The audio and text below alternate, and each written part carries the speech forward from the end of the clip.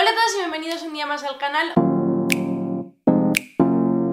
Hoy os un vídeo que llega un poco tarde pero llega y es de ideas de cómo vestir durante estas fechas. Eh, como os he dicho, llega un poco tarde pero son todo cosas que podéis conseguir fácilmente ya que son de nueva temporada o cosas que igual no son de ahora pero que os pueden servir como inspiración para cosas que seguramente tengáis por ahí o que tenga alguna amiga o un familiar que yo al final es lo que hago todos los años. O sea, al final acabo yendo pidiendo entre amigas, familia, eh, lo que tenía de otro año, lo que tiene la prima de la tía, de la sobrina, de la cuñada, de la vecina y al final siempre, siempre acabamos consiguiendo algo.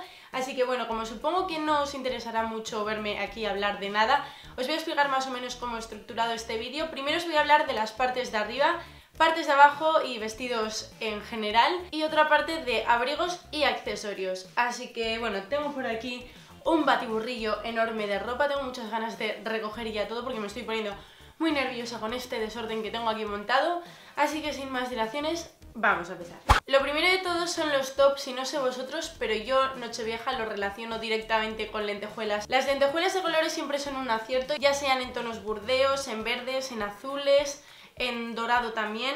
Otras son en plateados, colores así que no sean tan llamativos. O si no, algún detalle de brillantina, como puede ser esta blusita de aquí.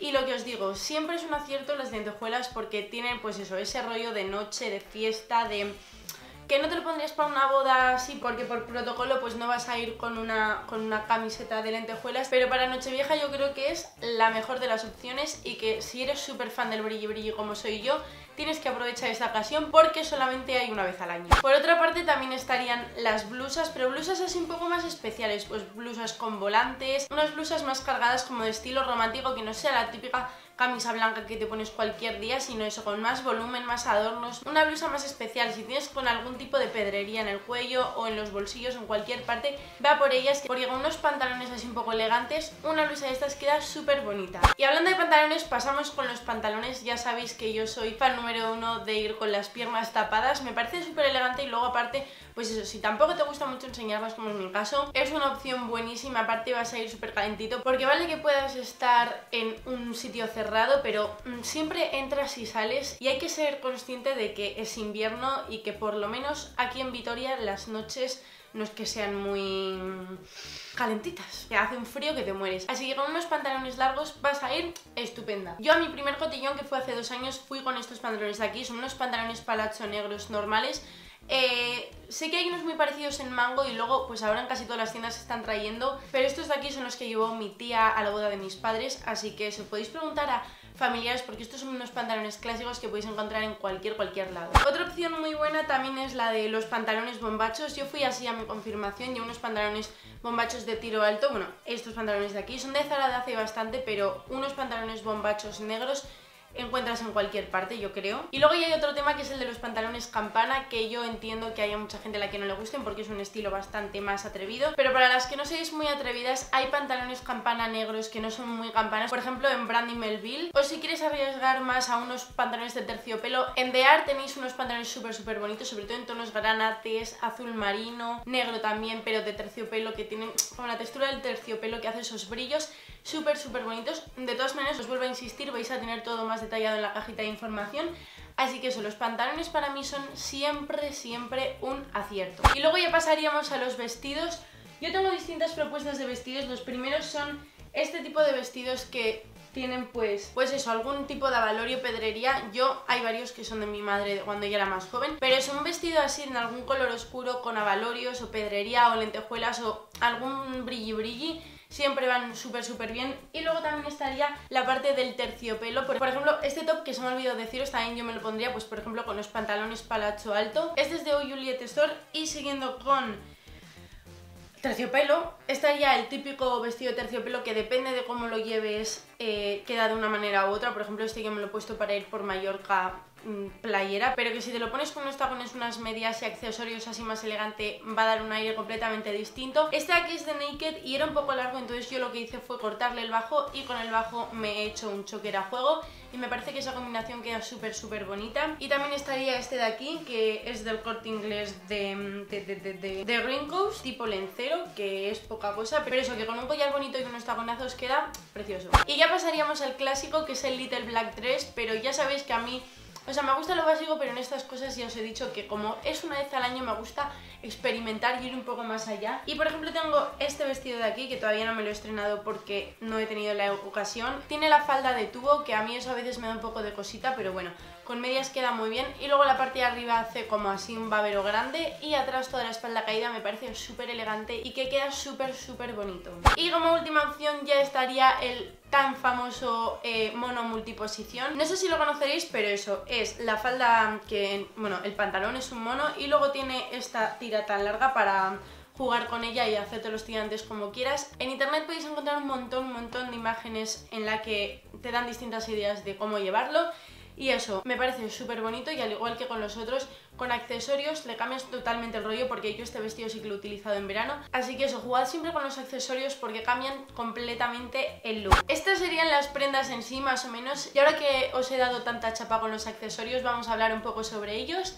Eh, yo sinceramente creo que un collar bonito da muchísimo, muchísimo juego, pero si sois así un poco más minimal, los collarcitos así pequeños dorados quedan súper bonitos que combinado con un choker ya sea este o como os he dicho el de terciopelo que yo me lo corté o si no de este estilo de choker también así más más dorado, más elegante. También quedan muy muy bien, pero eso, también podéis usar collares súper grandes, que esos hay en todas las tiendas que ahora, pero yo a mí ahora me ha dado por ir con cosas más detallitos y eso, el cuello muy importante. Lo siguiente importante, las manos. Ya sabéis que a mí me encanta llevar relojes. Para este tipo de ocasiones me parecen súper elegantes los relojes tipo clues, así más clásicos. Y también los anillos. Los anillos con unas uñas bien pintadas quedan súper elegantes. Yo ahora no tengo las uñas pintadas, pero eso, si no son así grandes, que esto lo veo un poco más para el día a día, los anillitos así dorados por toda la mano quedan súper elegantes, dan un toque muy, muy formal y bonito, hacen pues unas manos súper bonitas. Y lo último, pero no menos importante, los pendientes. Yo, por ejemplo, estos pendientes de aro no los llevaría, llevaría más unos tipos así de perlas, sobre todo los que os he enseñado muchas veces de The Peach Box, que son pues perlas que aquí hay una y aquí hay otra, o, por, o por, debajo del lóbulo cuelgan unas cuantas. Me parece que quedan súper bonitos, muy, muy, muy elegantes y que aparte son súper cómodos de llevar, que no tienes que llevar ahí las orejas cayéndose con pendientes súper pesados. Esos me parecen que dan un puntazo. Lo siguiente importante son las medias si veis a llevar falda, pantalón corto o vestido corto. A mí sinceramente me gustan más las medias negras tirando a muy transparentes, solo que ahora no tenía, pero me parecen que son las que mejor quedan, que aparte si le pones un zapato estilo sandalia que le salgan los dedos por delante no me parece que quede nada feo. Sí que hay gente que no le gusta que sobresalga el dedo por, por delante de la cinta, pero a mí me parece que le da un aire muy elegante, así bastante bonito. Y eso, las medias importantes. Lo que sí que me parece un error, atención por favor, no llevéis este tipo de medias, son las transparentes, porque siempre tienden a brillar. Quedan feísimas, o sea no me gustan, o sea, si queréis llevar transparentes, por favor, llevar negras tirando a transparentes, pero no transparentes, transparentes, porque nunca encuentras los panties perfectos que se adapten a tu color, porque no existen. En mi opinión, los zapatos dan un puntazo, solamente que, pues no todo el mundo tiene muchos zapatos, yo suelo pedírselos a mis amigas, o sea, no tengo muchísimos tacones. En mi grupo de amigas, sinceramente, nos solemos dejar los zapatos porque no es muy normal pues tener 50 pares de zapatos. Lo normal es tener alrededor de dos tacones o unos, así que bueno, no te fijes mucho, yo sinceramente recomiendo ir a por el negro. O si llevas un look total black, pues eso, meterle el color en los accesorios, entre ellos dos zapatos, pero eso, no os comáis mucho el coco y si necesitáis unos, ir al Primark porque por un precio súper bueno podéis encontrar tacones que para una noche sobrado. Y ya lo último y con lo que muchas veces nos comemos la cabeza, que son los abrigos. Yo sinceramente antes no me fijaba mucho porque digo, bueno, me voy con cualquier abrigo y cuando entro al cotillón pues ya me lo quito y hasta que no me voy pues se queda en el ropero. Error. El abrigo es muy importante porque es 31 de diciembre o 24 o 25 o el día que lo utilicéis y el abrigo es que hay que llevarlo. Y tampoco hay que pensar mucho, porque con una chupa de cuero o con cualquier peluchito vas genial. O sea, una chupa de cuero ya sea la negra típica, que es la mejor, o negra con alguna tachuela o algún detalle o lo que sea, o incluso la chupa de cuero de cualquier color si vas pues de negro, pues un, tono granate como la que os enseñé hace poco en un haul, o, cualquiera. Es que las cazadores de cuero le dan rompen con ese aire tan elegante y le dan un toque súper rockero que a mí me encanta. Así que eso, si no sabéis, una biker. Y si no os gusta este estilo tan... que pues eso, que rompa con la elegancia del look, ir a por los peluchitos porque esos sí que no fallan. El color que sea, la textura que sea, la largura que sea, el estampado que sea, cualquier tipo de abrigo de pelo va bien, porque sí, porque, porque va bien, porque es que pega, o sea, pega con la noche, pega con la temática, pega con lo que sea. Así que ya sabéis, que no hay abrigo, cazadora y peluchito. Y bueno chicas, hasta aquí el vídeo de hoy, espero que os haya gustado mucho, que os haya dado una idea, os vuelvo a repetir que en la cajita de información os voy a dejar de dónde es todo mm, lo que es de ahora. O sea, el pantalón que me dejó mi tía de la boda de mis padres, pues ese no, no voy a saber dónde está, pero eso, todo lo que es de ahora lo vais a tener en la cajita de información. Y sin más, que espero que os haya gustado mucho, que sobre todo os sea útil. También os recuerdo que en el canal tenéis el vídeo de outfits de Nochevieja del año pasado o outfits para ocasiones especiales que subí en la época de las graduaciones, confirmaciones y demás, que de ahí también podéis coger alguna idea. Y bueno, esto ha sido todo por hoy, espero que os haya gustado mucho y nos vemos muy muy pronto. Un besazo enorme.